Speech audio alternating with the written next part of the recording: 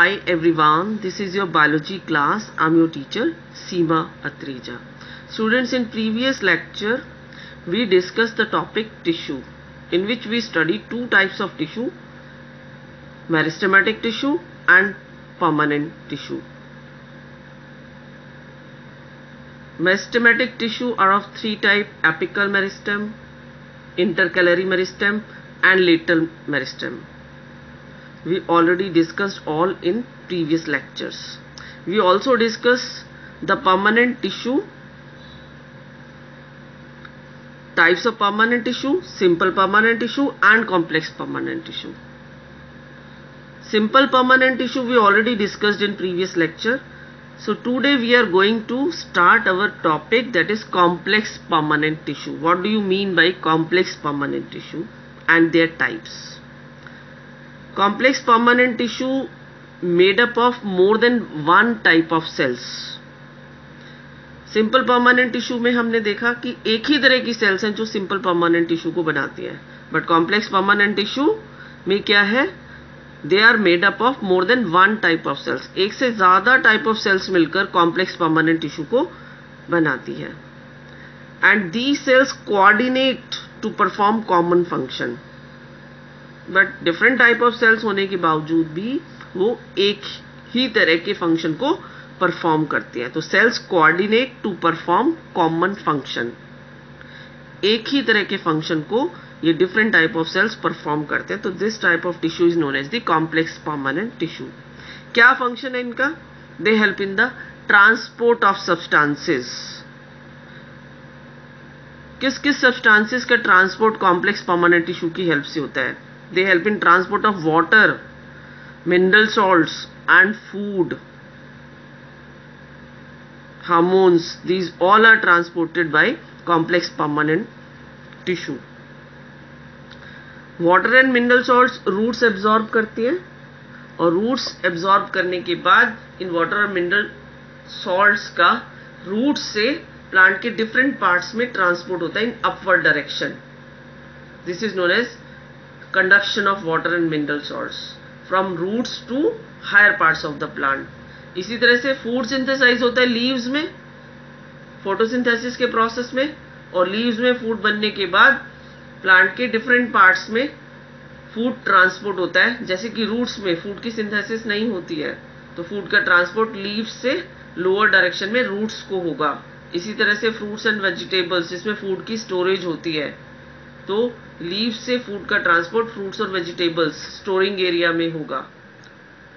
तो transport of water mineral salt and food takes place with the help of complex permanent tissue this is the main function of complex permanent tissue complex permanent tissue are of two types in case of plants one is xylem and one is phloem they are also known as vascular tissue as in our body vascular tissue is blood is the main tissue in our body that is blood vascular tissue which perform the function of transport of substances. इसी तरह से tissue में vascular tissue plant tissue में vascular tissue है xylem और phloem complex permanent tissue की types these are the vascular tissue which help in transport of substances from one part of the plant to other plant so first we will discuss the xylem Xylem is a conducting tissue. It helps in transport of water and minerals from roots to higher parts of the plant. Roots water minerals also soil से absorb करती हैं और जब water mineral salt soil से roots में absorb हो जाते हैं तो रूट के जाइलम के थ्रू जाइलम चैनल के थ्रू वाटर का मिनरल सॉल्ट्स का ट्रांसपोर्ट अपवर्ड डायरेक्शन में होता है।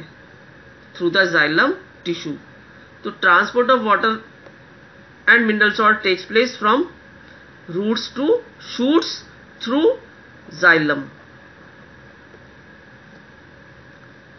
different types of cells constitute the xylem there are four types of cells which constitute the xylem first type of cell is tracheids second is vessels third is xylem parenchyma and fourth one is xylem fibers let us discuss all these four types of cells one by one. The four types of elements constitutes the xylem.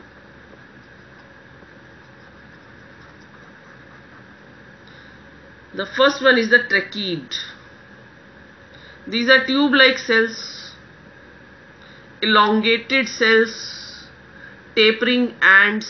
These are the tapering ends of the xylem cells. Pits are present in secondary cell wall. Plant में जो cell होती है उसकी cell wall में primary cell wall होती है और secondary cell wall भी होती है तो ट्रैकीड्स में जो सेकेंडरी सेल वॉल्स हैं उसमें पिट्स प्रेजेंट होते हैं प्राइमरी सेल वॉल में पिट्स प्रेजेंट नहीं होते हैं पिट्स क्या होते हैं the whole cell wall is thickened due to deposition of lignin पूरी सेल वॉल पर लिग्निन डिपॉजिट रहता है except living some thin walled area पूरी सेल वॉल में कुछ थिन वॉल्ड एरिया है जहाँ पर लिग्निन डिपॉजिट नहीं होगा। तो that unthickened areas are known as the pits तो pits are present in to the secondary cell wall in case of tracheids cell wall is lignified that is lignin का deposition पूरी cell wall पर होता है और जहाँ पर cell wall में अनथिकंड एरिया होंगे, वहाँ पर लिग्निन डिपॉजिट नहीं होता, उनको हम पिट्स बोलते हैं। Pits are present in secondary cell wall. Primary cell wall में सेल वॉल दो लेयर से मिलकर बनी है, primary cell wall and secondary cell wall. तो सेकेंडरी सेल वॉल में पिट्स प्रेजेंट होते हैं। And these cells on maturity are dead and they involve in conduction of water and mineral salts along with the vessels. So tracheids are the tube like cells. These are the tube like cells. But tube like are cells are the elongated cells with tapering and blunt end है इनके tapering ends हैं narrow ends हैं pits present है secondary cell wall में ये pit area दिखाई दे रहे हैं. The whole cell wall is thickened except living certain unthickened area these unthickened areas are known as pits cell wall पर लिग्निन डिपॉजिट है and cells are dead on maturity second type of cell present in xylem vessels. Vessels are also tube-like cells. Cells are arranged one above the other. So end-to-end arrangement of cells are present in case of vessels. This is the one cell.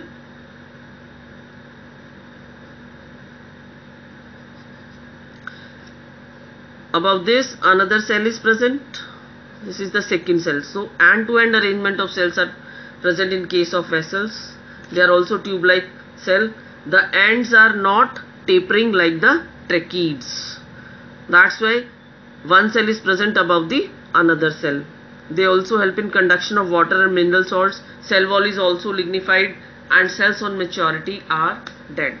Third type of cells in xylem, xylem parenchyma. Parenchyma cells are living. Cells are thin walled, normal cells, thin walled. Cell wall is thin. In the center, nucleus is present surrounded by cytoplasm and their main function is the storage of food material. These are the living cell. And the fourth type of cell is xylem fibers. Xylem fibers are sclerenchymatous. They are made up of sclerenchyma tissue, which is dead tissue.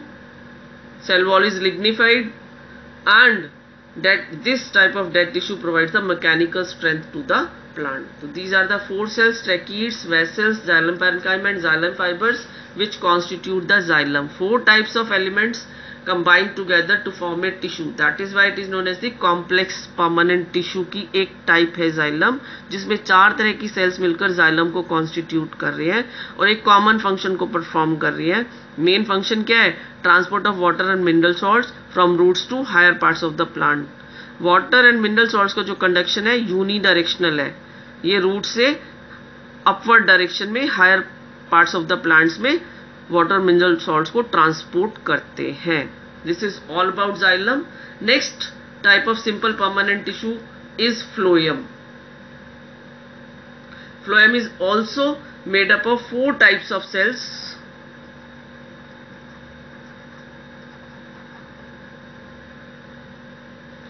sieve tube cells, companion cells, phloem parenchyma and phloem sclerenchyma. So first we will discuss the sieve tubes. Sieve tube cells are the tube-like cells. Their cell wall is thin. Cells are placed one above the other. These are the elongated cells, tube-like cells. Cells are placed one above the other. The end wall is porous that is pores are present into the end walls. So end walls are porous. That is perforated. Pores are present into their end walls and they constitute the sieve plate. This is known as the sieve plate. That is end walls with pores constitute the sieve plates. This is also sieve plates another cell is placed above this. So this is the sieve cells. Tube-like structure thin cell wall. Cells are placed one above the other. End wall is porous and sieve plate is present. That is end wall with pores is known as the sieve plates. Another type of cells is the companion cells. Companion that is associated with sieve tubes sieve tubes के साथ attached condition में present होती है ये cells this is the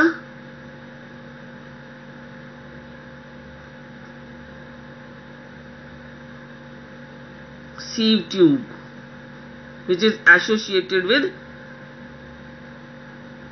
companion cells this is the companion cells which is find attached with the sieve tube. That is why it is known as companion cells. Nucleus is present into the companion cells. Nucleus is not present into the sieve tube cells. The nucleus of the companion cells controls the activity of the sieve tubes. Companion cells are also thin-walled cells. Third cell is the phloem parenchyma. These are the living cell.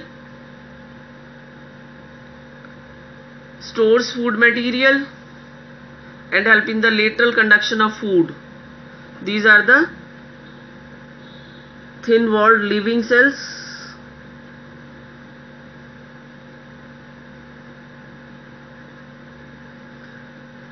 Phloem parenchyma stores food material and help in the lateral conduction of food एक cell से दूसरी cell में lateral direction में जो food का conduction है, उसमें ये फ्लोएम पेरेंकाइमा रोल प्ले करता है and also stores the food material the fourth cell is phloem sclerenchyma these are the sclerenchymatous in nature dead cells thick walled cells provide mechanical strength So these four types of cells constitutes the phloem, sieve tubes, companion cells, phloem parenchyma and phloem sclerenchyma.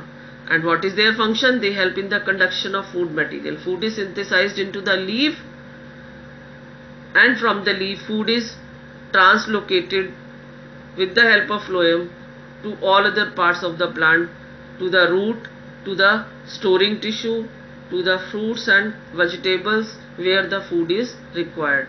Translocation of food takes place in both direction, upward as well as lower direction. जबकि water और mineral transport का जो transport होता है water और mineral salts का transport xylem के through only upward direction में होता है रूट से अपर डायरेक्शन में ट्रांसपोर्ट होगा वाटर और मिनरल सॉल्ट्स का जबकि फ़ूड का ट्रांसपोर्ट बाई डायरेक्शनल है लीफ फ्लोएम से लेकर ये अपवर्ड और लोअर डायरेक्शन दोनों डायरेक्शन में फ़ूड का ट्रांसपोर्ट होता है। तो this is all about complex permanent tissue I think the concept is very much clear to you all यहाँ पर अभी हमने प्लांट टिश्यू को खत्म किया है। नेक्स्ट लेक्चर में हम एनिमल टिश्यू स्टार्ट करेंगे। Thank you so much